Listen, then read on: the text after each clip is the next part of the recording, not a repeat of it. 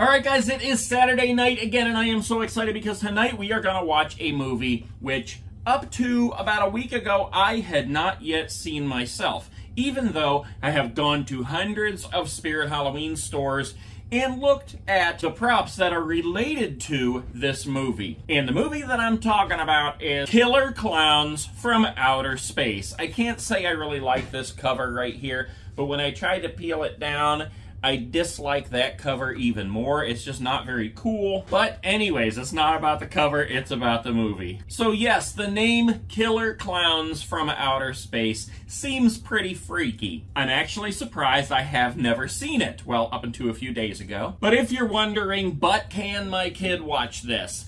I would have to say yes. The typical Spirit Halloween viewer base on this channel can definitely handle this movie. I previewed this movie myself just to make sure, and anything that would really be a concern is basically just implied. There's like teenagers in the back of cars, well, people who are supposed to be teenagers, but they look like they're about 35 years old. You know how they did it in the 80s. In Grease, everybody who was supposed to be a teenager is about 47, 48. But anyways, yes, it's a very cheesy 1980s movie. And like I said, if your kid goes to Spirit Halloween, he can handle this movie. I don't even really recall that the language was all that bad. So anyways, Killer Klowns from Outer Space that's what we're watching tonight, guys. And I couldn't think of anything better to make. And I know there's killer popcorn in there, but I didn't know how to make a killer popcorn. Plus, that would just be kind of boring because it would just be like a bowl of popcorn.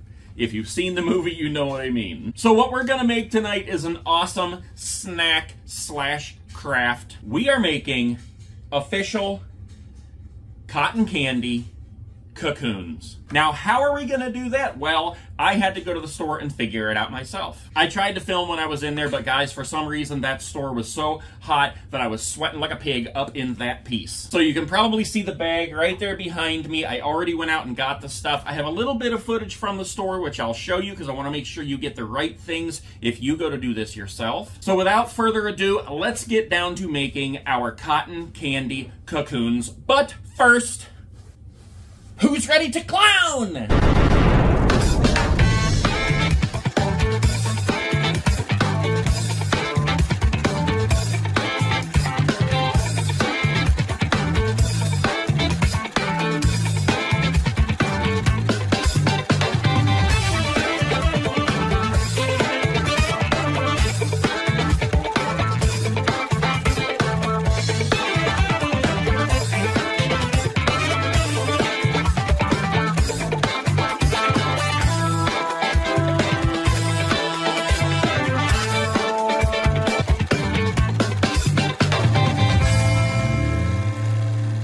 Okay, so as I said, guys, I went to the Dollar Tree to get this stuff, and I got everything I needed at the Dollar Tree, except for a couple of things that I already have here. So, the first thing we needed was pink cotton candy, because in this movie, they, like, spin a web of cotton candy and trap people in the cotton candy cocoons. That cocoon just happens to be pink. So, the first thing I went looking for in there was pink cotton candy. I literally found it within seconds. It's this fluffy stuff watermelon cotton candy, and as you can see, it is pink. Now, they had other cotton candy that was like multicolored. I think they had yellows even and blues. They had one pack that didn't even tell you what color, but apparently it's kind of like you open it up and you find out what color it is. You can use any color you want to, but for the purpose of this, and because it's pink in the movie, we are going to use pink. Now, I got three bags of this stuff in case I mess it up because cotton candy is sticky. We've worked with cotton candy before. If you remember, we made our aliens from um, the Jimmy Neutron movie, and one of them I made out of cotton candy, and it's like, it's sticky, it falls apart, so this is going to be interesting. The next thing I got was these little shot cups. They're little plastic shot cups. There's 24 in here, guys. Buck 25 at the dollar 25 tree. You kind of got to look around for a while to find these. At least I did, but I finally did find them. And I'll show you what we're going to use these for in a minute. I also bought electrical tape. Now, we need the yellow and the black. I could have got paint, and actually I had paint in my cart at first, but I decided to get the electrical tape because it's faster and there's no mess. And I'll show you what we're going to use that for in a minute too. The next thing I needed was a hook. I needed a black hook about this size. I looked all over that store, guys. I was going to use pipe cleaners, but they only had colored ones, and I wanted a black one. They didn't have any other kinds of hooks. And then I spotted these bungee cords. Now, this comes with four, five, five little bungee cords for a buck 25, which I gotta say, I bought a lot of bungee cords in my days. A buck 25 for these is one heck of a deal. So the thing about these is they have black hooks on them. So if we take it out of the package here, I can show you that each of these has a black hook. There's a little one, and that would probably do the trick. Um, and then here's bigger ones here. Now we'll have to cut the bungee cord to get that off of there, but that's what I needed, just that one little piece. And for such a deal, five bungee cords for a buck 25, I will destroy one of these to get the hook, and I will have four bungee cords to use for whatever I need them for. The last thing I needed to get, guys, was a person to put inside the cotton candy cocoon. I looked at the dolls that they had there. I looked at action figures. I looked at everything that I could think of, even candy, looking for some kind of candy that was shaped like a face. I found like the little Sour Patch Kids and a few other things like that, but the faces were so small, and this is going to be kind of big. So I ended up going with this corny little baby doll right here. Buck 25. It was the best thing I could find to do this with. And we don't need the body. We're just going to rip off the head and use the head. So goodbye, baby doll. Wait a minute.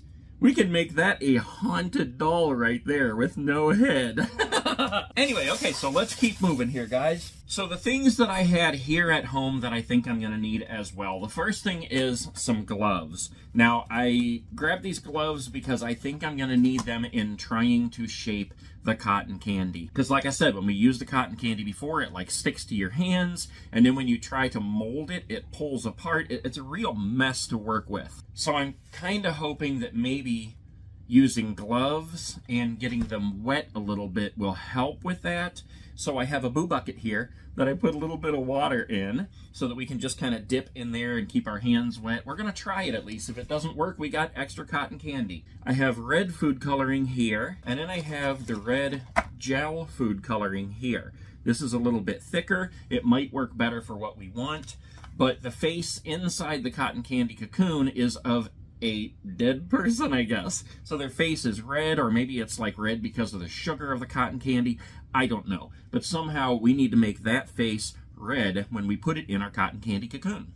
All right, so the first thing we need to do is take one of our plastic shot glasses. Now, the reason we're using the shot glass is because if you've seen the picture of the cotton candy cocoons, there's like a little thing on top of it that almost looks like a hat. It's shaped a little bit different from this, but this will work perfectly. And we're going to take our yellow and black electrical tape and we're going to make this yellow and black striped, just like in the movie. Now, painting this yellow and black striped might be a little easier, I don't know, but using the tape is definitely not going to be as messy as paint was, plus you don't have to wait for it to dry. So the first thing that I did was I taped the black over the top, because we're going to need to punch a hole in there, and these are really flimsy. You can see where it's already broken, just by me putting that tape on there and putting a little bit of pressure on. We're going to use a screwdriver and poke a hole in the top after I've taped this up. So if you tape up the top first, then you've got these areas around the side here that would be ugly otherwise. We're going to be able to tape over those just by starting our tape like that on there. So we're just going to twist it around. And electrical tape is stretchy too, so it can kind of conform to this and be bent around it, you know, without getting wrinkles in here. And it's very easy just to keep it right around the edge of the bottom of the glass. Now you might want to go around a couple times just to make sure because like I said, these things are pretty uh, flimsy and you don't want to spend the time in wrapping it up and then try to punch the hole in the top and it breaks the whole thing and you got to start over. All right, so there we go. We've started it with the black. So the whole cup is black now. We're going to take the screwdriver and just punch a hole in there. And that actually worked much better than I thought it would. Went straight through there, and since we had the tape on there, it prevented it from breaking the cup anymore. So now we have a little hole there, and we're going to run our hook right up through there. But not before we use the yellow to put our yellow stripes on there. So what I'm going to do is we need stripes of yellow. Before I even peel it off here, instead of peeling it off and then trying to cut it into little strips, I'm just going to go around this a little bit and cut it while it's on the roll. Now, of course, this is going to cut through, and if you need some yellow tape later on, it's going to be a difficult thing. But for this project, it's the best thing we can do to create yellow stripes. Okay, so I've cut it around almost all the way around once. That way when we peel it, we're peeling individual little stripes right here. We can take the stripes, put it right on there, and tape it all the way around. So there we got our first yellow stripe on there. And you kind of got to stretch them when you're putting them on to make sure they go all the way around. Or just cut them the right length. I love doing these little crafty things for the movie nights. It's so much fun and it makes the movie that much better when you can kind of join in. All right, one more yellow stripe here. So there we go. We got our yellow striped little cap to go on top of our cotton candy cocoon. So, we need one of these hooks now. I'm going to take it off the red one. You see how it's loose here? I hate to destroy a bungee cord, but it is what it is. You got to have a cotton candy cocoon. All right, there we go. There's our hook.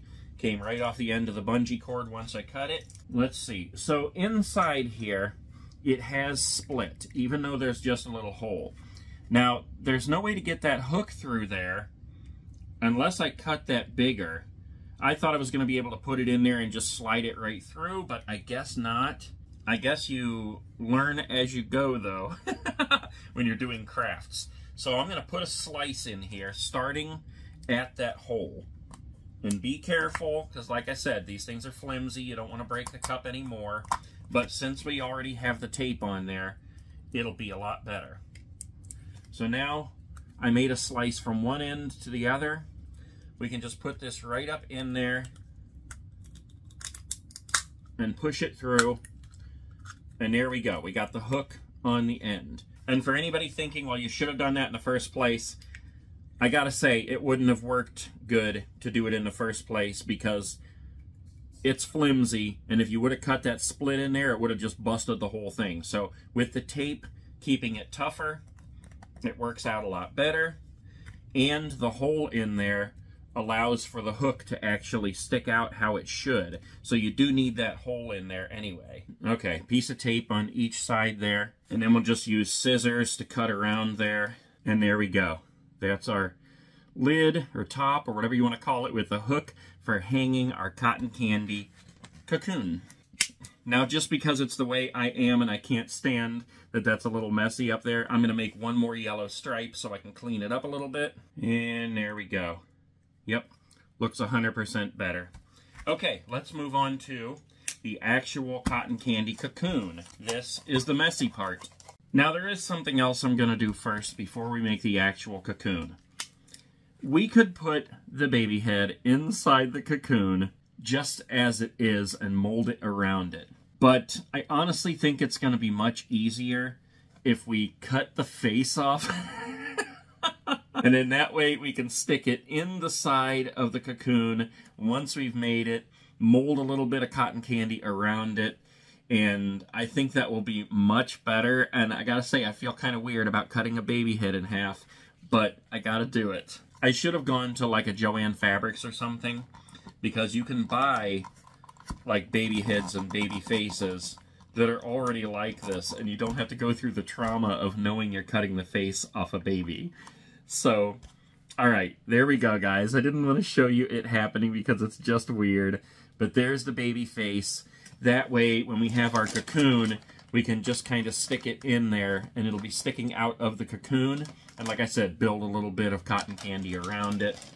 Otherwise, we got this much more of a hunk of a head inside the cotton candy cocoon. Okay, so we're to set our baby face to the side. Okay, fluffy stuff, watermelon, cotton candy. This will be interesting. It's definitely the strangest smelling cotton candy I've ever smelled. You know, while it's in the bag here, I'm going to try to mold it. That way I don't have to get my hands on that at all. I think we can pull this off. Maybe. Well, this is why we got three bags, guys, so we can make mistakes. The top has to be molded enough, like small enough, for this to sit on top. And the candy cocoon has to be shaped basically like an upside down light bulb. That is really if this is if this turns out to be that easy, I'm gonna be so happy. Sometimes I get into these crafts and they end up being such a mess. It took me, what, four days to make the Indiana Jones monkey skull. Okay, let's take a look at this here. I molded this inside the bag. Let's hope it looks good. Oh, it's already falling apart. See, that's what I'm talking about. Well, there's the top that I tried to mold. yeah, I wish you could, like, work with it like dough, but it just doesn't work that way. All right, so let's set this aside. We still have enough in here where I can try once again to mold it. Ah, see, it falls apart. Dang.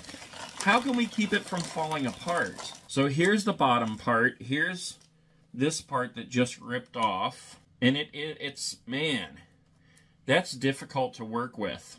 So that it'll give us something sticky to work here. Ah, oh my gosh. It immediately, look at this. It immediately starts like dissolving. But you know what? Let's see if this will stick. Nope. oh my gosh.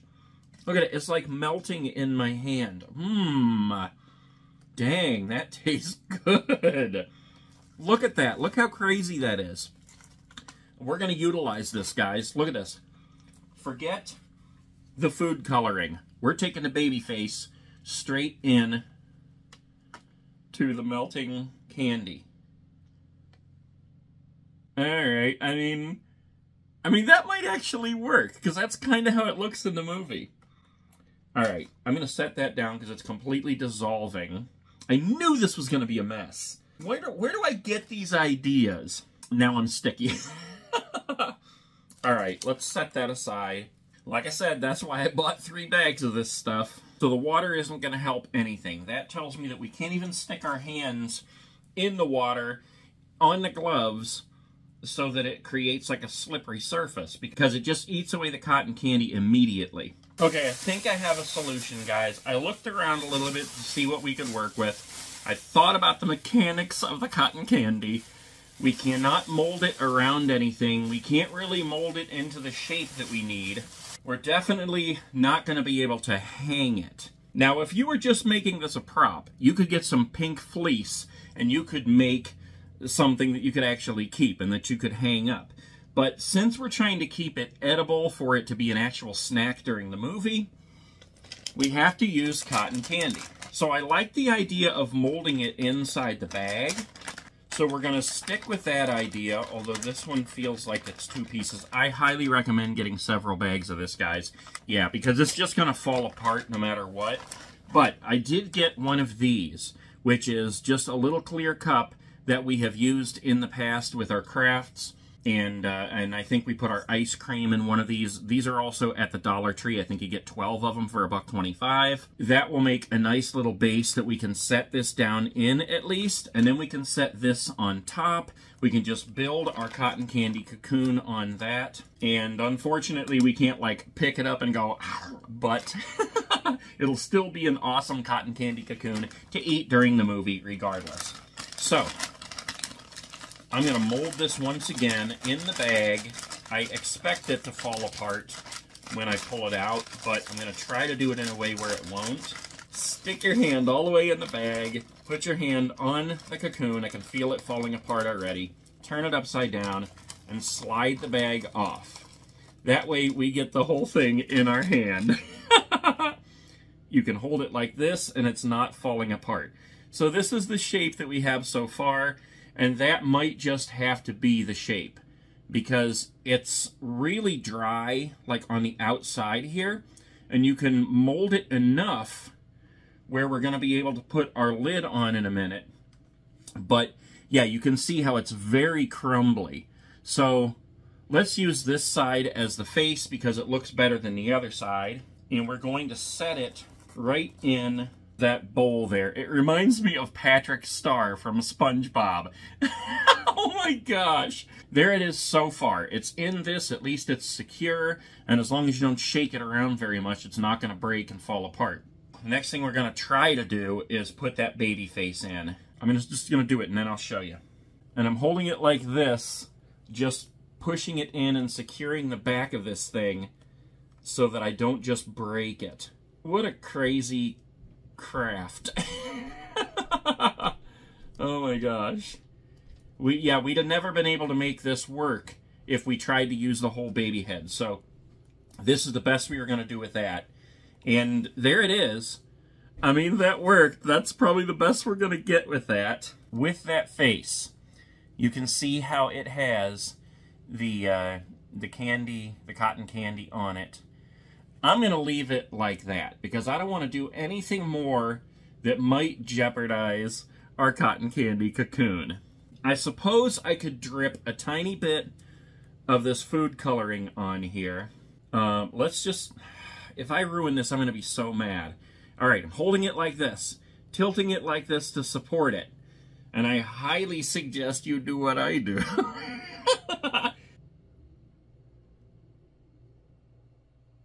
That just looks dumb. That It did not even work how I wanted it to work. However, yeah, it's the, the food coloring itself is eating the cotton candy. Look at that. It looks like she's got a really weird hairdo or something. Alright, that looks a little bit better, I guess. It's supposed to be blood. I don't know. Alright, that's about the best it's going to be. At least it doesn't look like a weird hairdo anymore. However, I'm just saying, if you're planning on eating this, I wouldn't go putting half a bottle of food coloring on it. So, we're going to go ahead and somehow try to get this on the top now and finish off our cotton candy cocoon. All I did was just mold that top a little bit smaller. This is going right on top of that. The face is trying to come off. Oh my gosh. All right, there we go, guys. I mean, honestly, that's not too bad. That looks pretty hilarious, but, I mean, you tell me, how could we better make a cotton candy cocoon for our Killer Klowns from Outer Space movie night? There it is, right there. Even from the side, it looks pretty cool. oh my gosh, how insane. Where do I come up with this crap? Alright, that's it. Thank you guys for watching. I hope you come back every Saturday night. We're about to sit down and watch Killer Klowns from Outer Space and have our cotton candy cocoons snack. Look at that thing.